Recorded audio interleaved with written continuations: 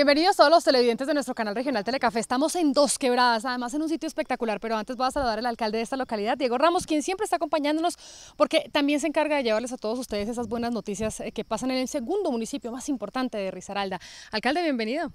Bienvenida a usted por acá en este Sí, sitio señor. tan maravilloso. Yo me identifico mucho pues con la parte del campo, todos lo sabemos. Un saludo muy especial. Buenas noches pues para todos los televidentes y nuestros amigos del extranjero también el saludo.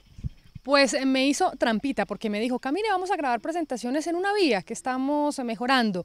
Y pues se me vine muy entaconada y estamos eh, en la vereda El Chaquiro, que además, eh, ¿a cuántos minutos puede quedar de, de Dos Quebradas? Exactamente 15, 20 minutos. Sí, 20 Pero minutos. el recorrido es increíble porque los paisajes que hay alrededor son maravillosos. Obviamente vamos a tener la oportunidad de presentarles a todos ustedes.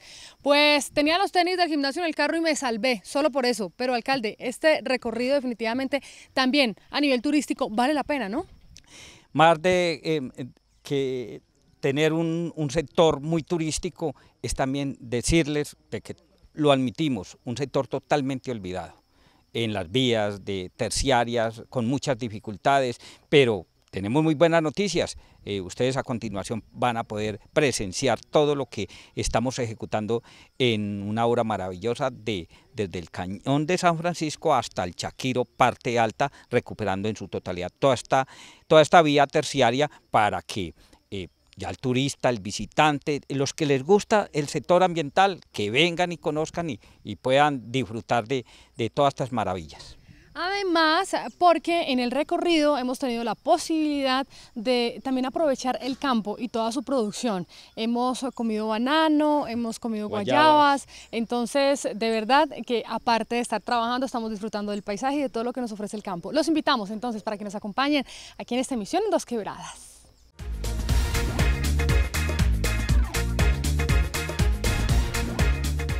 Bueno, alcalde, entremos un poquito más en, este tema donde se está mejorando todas las vías terciarias, además porque esto también se convierte en esa posibilidad de que los campesinos se queden en el campo, puedan sacar a tiempo su producción. O sea, no es solamente para que pase un carro simplemente y ya, son muchos los beneficios que se obtienen con estos trabajos.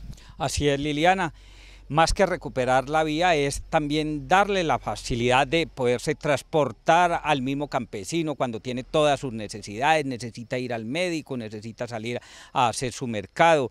Para los mismos niños eh, poder... Eh, de que el transporte lo recoja para traerlos a la, a la, escuela. De una u otra parte, para el mismo turista, el que anda en, bicicleta, porque todo este lado lo recorre bastante, bastante ciclistas, eh, eh, también a pie, toda la, eh, todos esos visitantes, todos los que nos gusta la parte ambiental. Este es un, este es un sector pero hermosísimo. Este es el Cañón de San Francisco, parte, eh, parte baja, donde limitamos con Marsella, con Pereira y con el municipio de Santa Rosa. Es un sector, verdad, de verdad de que ha estado muy olvidado, lo tenemos que admitir, pero hoy por hoy estamos recuperando pues toda esta vía, es con, eh, una inversión desde la, desde la quebrada del, del, cañón de San Francisco hasta eh, eh, unir con, con Chaquiro parte alta, una inversión de alrededor de 158 millones de pesos, que si fuera a todo costo,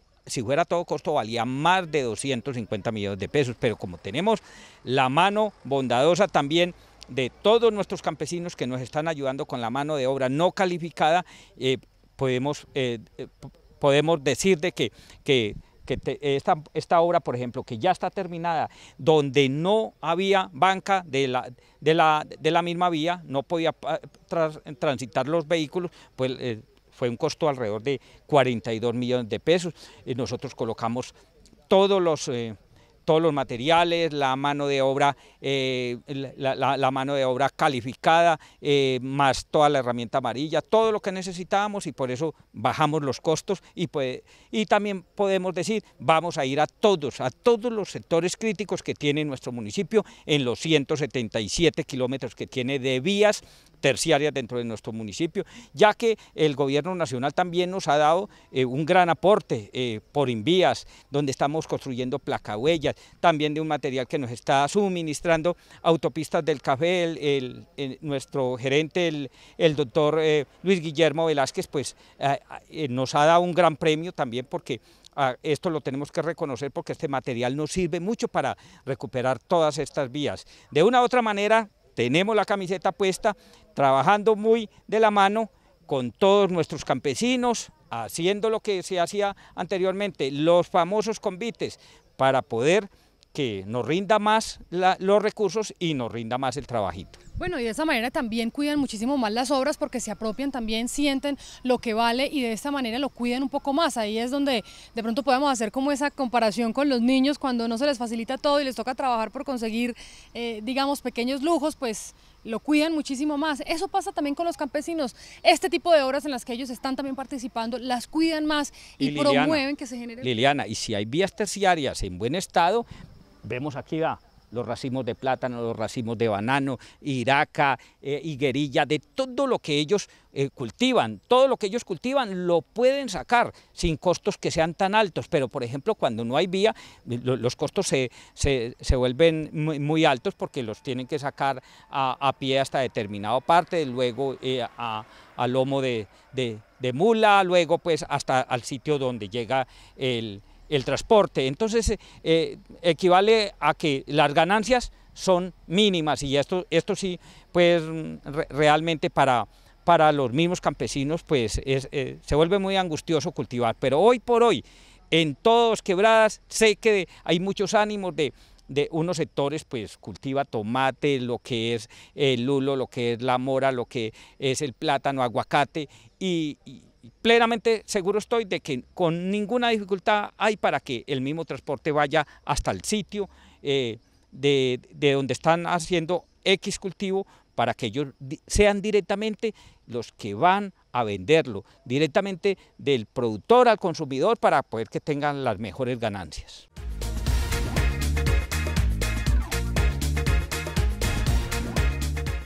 La recuperación en las vías del sector rural es uno de los propósitos de la administración del alcalde Diego Ramos. Según él, estas vías le dan crecimiento al municipio dos quebradense y mucha más proyección al sector agropecuario. Aquí lo que hay que destacar es el gran compromiso que ha tenido la misma comunidad. Eh, hace mm, pasados los años anteriores han tenido muchísima dificultad donde nosotros tampoco habíamos podido tener unos recursos importantes para para poder recuperar esta vía en su totalidad desde, desde, desde el cañón de San Francisco, desde toda la quebrada hasta subir aquí al Chaquiro, parte alta. Eh, la vamos a recuperar en su totalidad toda, toda con, con eh, un material que nos está suministrando autopistas del café, los pasos más críticos eh, quedan totalmente superados. Y aquí donde estamos parados no había esta obra de estabilización que nos conseguimos también a través de la, eh, con materiales de la unidad del riesgo. Esta es una obra donde, donde hay que eh, contar de que la misma comunidad nos ayudó con obra de mano, nosotros colocamos la, la mano de obra calificada, más todos los materiales y todas las herramientas eh, que se necesitan para poder recuperar todo. Esto es un muro tremendo, todavía está pues con formaleta de, de guadua, esperando que, se, que cumpla todo el ciclo de, de, secado para poder ya quitar, eh, quitar toda esta formaleta. Esta vía del Chaquiro Bajo es de gran importancia para el sector industrial y el campesinado. Gracias a esta importante inversión, esta vía está siendo recuperada. Y pues con esta administración pues lo que nos están arreglando la vía y estamos muy contentos todos, porque si nos arreglan la vía pues esto nos va a dar va a ser mejor para el transporte de los cultivos, los ciclistas que por aquí hay mucho ciclomontañismo, entonces para ellos también, y aparte la actividad económica también se va a activar porque la gente vende sus gaseosas, su café, ya salen a, hacer a, vender cosas en, enseguida en las casas. Entonces pues es algo muy bueno para nosotros. Bueno, en primer lugar, darle lo, el agradecimiento al señor alcalde que se acordó esta vereda, que nos tiene como presentes, que porque la realidad era que el paso aquí, en más en este punto aquí, era muy grave, porque inclusive que varias veces nos vimos aquí pues para ver una siguiente grave ahí, ¿cierto? Mm, darle los agradecimientos al señor alcalde que, se acordó de la comunidad y, y es un hecho, que se está viendo que es un hecho, de que están organizando la vía y el propósito, dice el señor alcalde ahora, que el propósito es arreglarla hasta el chuzo, ¿cierto? Pues, ¿qué les digo yo? Pues yo estoy muy contento, muy feliz hermano, y yo creo que toda la comunidad aquí, toda la vereda, porque se acordaron de que existimos aquí en, este, en, este, en esta vereda, hermano. Una obra de gran importancia y gran impacto para esta comunidad. Aquí hay una inversión altísima también porque eh, los muros de contención, pues eh, todo el material y bajarlo hasta este sitio, más, de, más todo lo que eh, hay que asumir con maquinaria amarilla, gracias a Dios pues tenemos esa maquinaria, pues esto da, da más o menos más de 100 millones de todo, todo lo que vamos a hacer dentro de todo este proceso de, vías terciarias de este sector, nada más de todo, esto, de todo este sector. Esto eh, son, eh, son datos que tenemos pues eh, de un promedio más o menos, pero al final pues ya de la, de la vigencia vamos a sacar el dato consolidado de todo lo que vamos a hacer tanto en este lado de, de la serranía del Alto del Nudo como en el en, el otro corregimiento del Alto del Oso, que estamos también trabajando y que muy ligero ustedes van a conocer todo lo que ya tenemos en este momento eh, en construcción. El alcalde Diego Ramos le seguirá apostando a las vías del sector rural para darle más crecimiento al municipio industrial.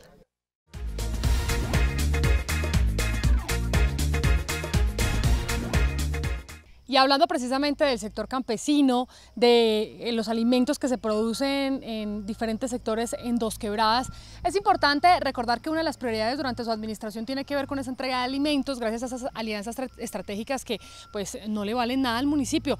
Eh, la más reciente entrega, alcalde, ¿dónde se llevó a cabo? Y hablemos un poco como de ese sector que recibió, digamos, esta posibilidad de encontrarse con esos beneficios que entregan los empresarios, pero también anunciemos cuál va a ser, eh, digamos, el próximo recorrido para que estén muy pendientes pues, todos los televidentes que además viven en Dos Quebradas.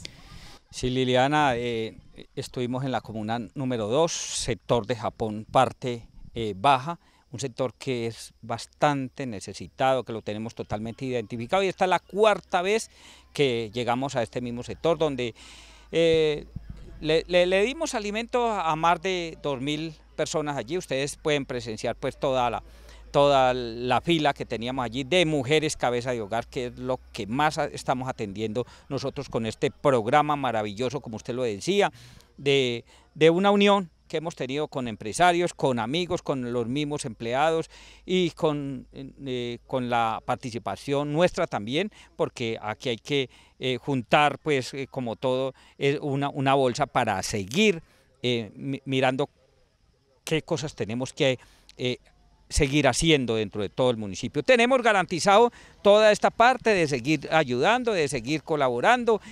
nos gusta hacer mucho este, este, estas entregas porque de verdad sabemos de las necesidades tan extremas que hay en, distintos eh, sitios como eh, hablamos de, de, parte extrema es por la pobreza, la pobreza que tenemos identificada con mucha madre cabeza de hogar que tiene tantísimos hijos y que necesita de nuestra ayuda. De nuevo lo decimos, todos, cada ocho días, cada jueves, cada viernes, eh, cualquiera de esos dos días semanalmente vamos a estar en, distintos barrios haciendo lo mismo entregando toda esta comida, como usted lo decía Liliana, producción de yuca, la misma racacha que todos estos sectores también la, producen, plátano, banano, eh, papa, eh, lo que es cebolla, lo que es también la salecita, el, arrocito, la panelita que no puede faltar, entonces em, de verdad de que eh, felicitaciones es, o muchas gracias para aquellos empresarios, para aquellas personas que semanalmente se vinculan con nuestro programa alimenticio para llevarle a los más necesitados.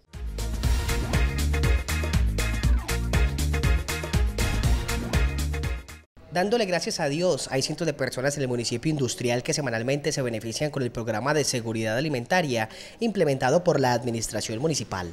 Cabe resaltar que esta es la primera vez que un alcalde visita los sectores más vulnerables del municipio pensando en los más pobres. Más de 5 toneladas de comida son entregadas en cada comunidad la felicidad se puede reflejar en los rostros amables de todas estas personas.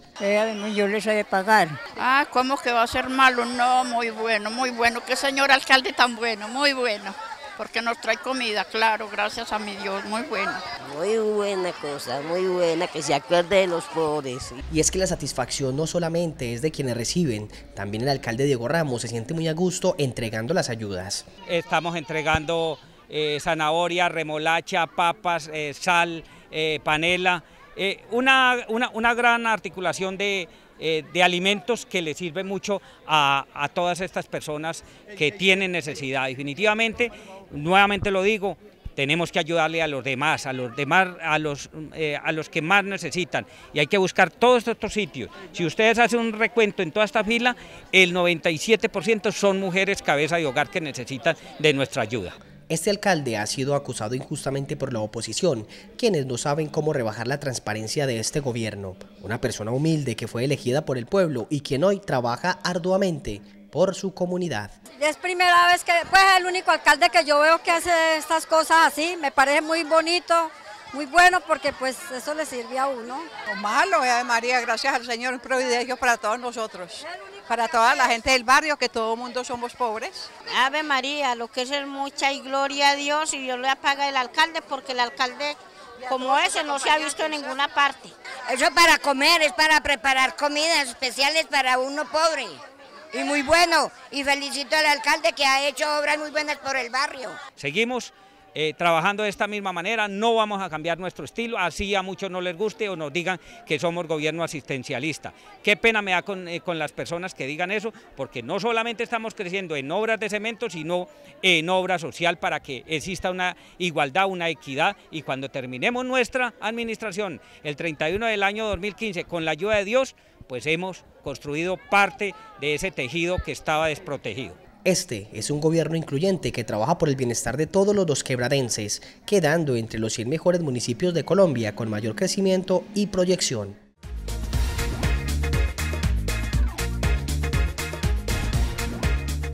Alcalde, usted como alcalde social precisamente, pues eh, también queremos resaltar esa posibilidad que tienen las personas que viven en su localidad, que también en emergencias cuentan con su presencia. No es solamente eh, en las obras o en las cosas que se tienen planeadas por parte de la administración que normalmente, digamos, se tienen que hacer, sino también en unos momentos donde las emergencias, por ejemplo, uno no sabe cuándo van a pasar, usted también está ahí. Es el caso de tres familias eh, que perdieron todo con el incendio de su vivienda. ¿Cómo va ese proceso de atención? ¿Usted llegó oportunamente, ¿qué ha pasado?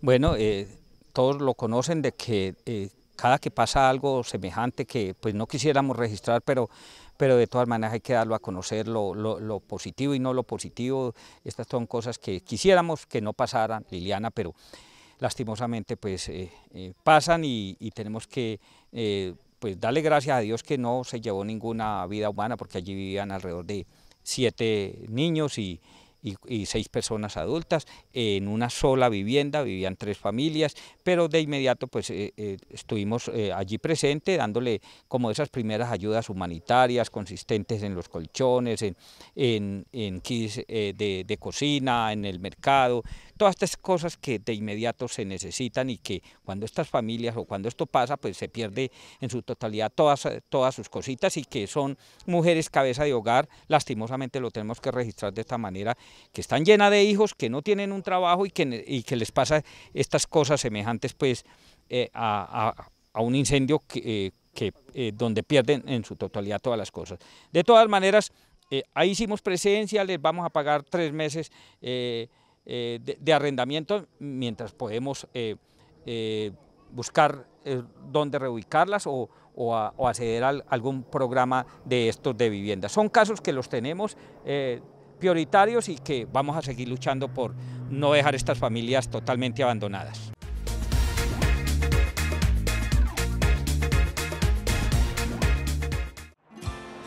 Hoy tenemos, mañana no sabemos.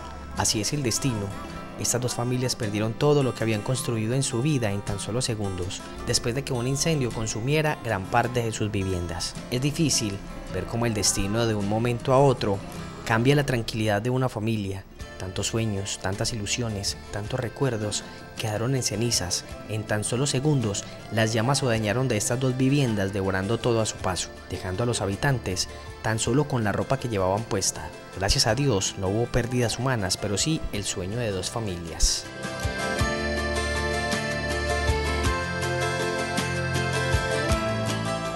¿Qué pensaría, qué sentiría usted si esta fuera su vivienda? Si todo lo que construyó en su vida se perdiera en tan solo segundos, ¿qué sentiría si la impotencia del rostro de esta mujer fuera de alguno de sus familiares? Es duro, ¿no? Ponerse en los zapatos de los demás, saber que en este momento tenemos todo lo que anhelamos y que al amanecer no tengamos nada. Nadie está libre de una tragedia. Pero gracias a Dios y al alcalde Diego Ramos, estas familias no están solas. Gracias también a algunos empresarios del municipio que se sumaron a hacer grandes obras con los más necesitados. Por eso el burgomaestre vino a redimir un poco lo que estaba perdido, que era la esperanza. Pues bendito sea Dios que, que manda estas pruebas a, a estas familias tan necesitadas y decirles de que estamos de frente con ellos, vamos a, empezar a pagarles tres meses de arrendamiento mientras se pueden ellos ubicar. Les, hoy les hicimos presencia trayéndoles cobijitas, trayéndoles eh, eh, mercaditos, colchones, ollas a rosera, trajimos olla, eh, ollas a presión, trajimos olla, trajimos licuadora, trajimos el kit de cocina, les trajimos todo lo que son ayudas humanitarias de, inmediato porque no podemos dejar estas mujeres que son cabeza de hogar solas. La esperanza que renace de nuevo en el corazón de estas familias gracias a esta ayuda humanitaria. Pues muy bonito, porque pues se afana por uno. Con muchas maravillas que nunca nosotros hemos soñado tener una cosita de esas nada. La viviendita, que nosotros necesitamos la viviendita, ya quedamos por ahí. Estos pueden ser objetos que tal vez no devuelvan todo lo que perdieron, pero sí es una esperanza, queriendo decir, aquí estamos con ustedes. Las familias recibieron algunos objetos y comida, también la noticia de la reconstrucción de sus hogares. Eh, primero eh, que todo tenemos que mirar que jurídicamente cumplan, que sea, que sea eh, el, terreno de ellos y si el terreno es de ellos tienen alguna escritura o una compraventa de posesión, pues podemos nosotros empezar a tocar puertas, hacer una teletón del ladrillo para empezar a edificar nuevamente y que ellos eh, eh, en muy poco tiempo se puedan volver a, a trasladar al sitio donde han vivido toda su vida. La zozobra, la desesperanza, ya no forma parte del corazón de estas familias, porque es como dice el dicho, después de la tempestad llega la calma, agregándole también la reconstrucción de sus vidas.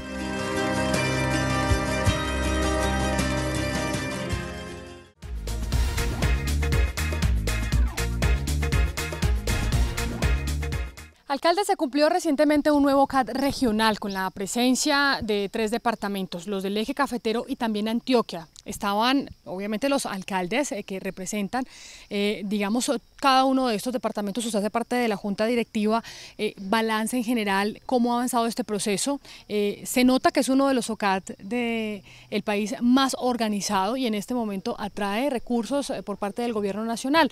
digamos, Dos Quebradas, ¿cómo se ve impactado en todo este proceso?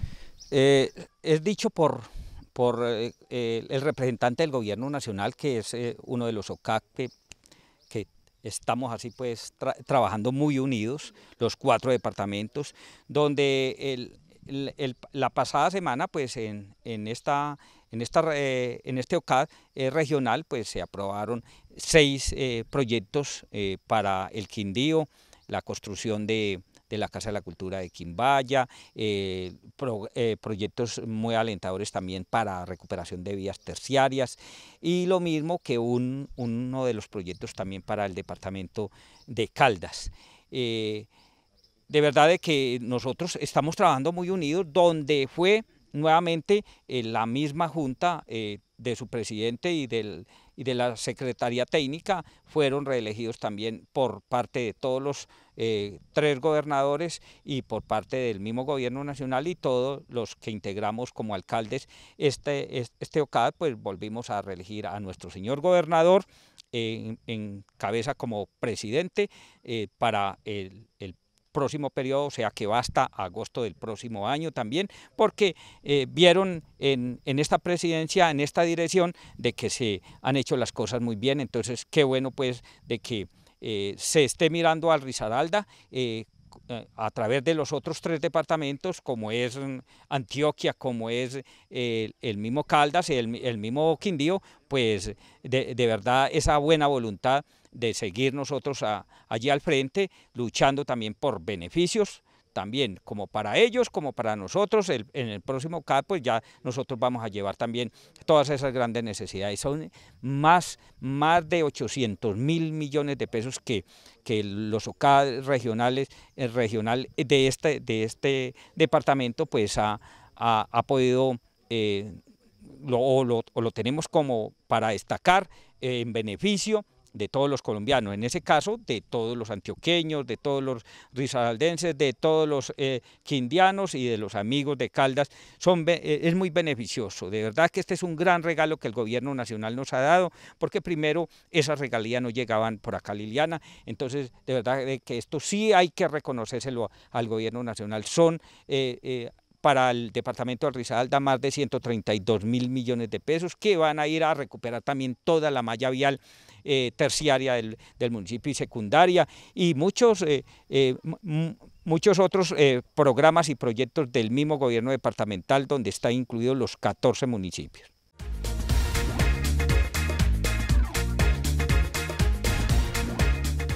El gobernador de Risaralda, Carlos Alberto Botero López, fue avalado por los miembros del local regional Eje Cafetero y Antioquia para continuar por un periodo más en la presidencia y secretaría técnica del OCAD, organismo encargado de direccionar la viabilización, priorización y aprobación de proyectos de inversión de impacto regional. Pues la verdad es que fue un voto de confianza del departamento de Antioquia, de Caldas y de Quindío por el trabajo que ha venido haciendo Rizaralda con la presidencia y con la Secretaría Técnica de local y esperamos no ser inferiores a ese reto que nos vuelven a colocar. Seguiremos trabajando para que las regalías, y lo decía Equipanación Nacional, este OCAD sea el, más ágil para aprobar proyectos en el país y también ojalá pues sea el más ágil para ejecutarlos. En el evento también se realizó la entrega de un informe de gestión de la vigencia 2013 y 2014 de la Presidencia y Secretaría Técnica. Asimismo, la presentación, discusión, viabilización y priorización de los proyectos presentados ante este organismo con su respectivos ajustes realizados previamente por los Ministerios de Ambiente, Transporte, Hacienda, Vivienda y la Dirección Nacional de Planeación. Es de resaltar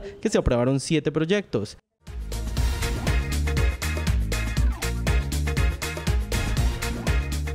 Muy bien, alcalde, precisamente desde el Chaquiro entonces nos despedimos de todos los televidentes de nuestro canal regional Telecafé, esperando contar con su audiencia nuevamente en nuestra próxima emisión. A usted gracias por acompañarnos. De nuevo, Liliana, mil y mil gracias por darnos la oportunidad de darles a conocer todas las maravillas que tiene nuestro municipio, no solamente en la parte urbana, sino en la parte rural, todo este sector ambiental, toda esta riqueza que tenemos hídrica también de, de, de nosotros decir de que aquí estamos protegiendo también pues toda esa parte del agua potable porque les quiero decir aquí todos eh, estos hogares que, tenemos alrededor tienen su, su nacimiento de agua. Aún, eh, aún poder decir eh, esta buena noticia porque sabemos de, toda, la, de, toda la preocupación que tiene la mitad de los colombianos cuando no hay este, este gran regalo como es el agua. Eh, un abrazo para todos de nuevo, eh, todos los televidentes, de nuevo saludar pues a, todos los amigos del, del extranjero y decirles mil y mil gracias por preferirnos.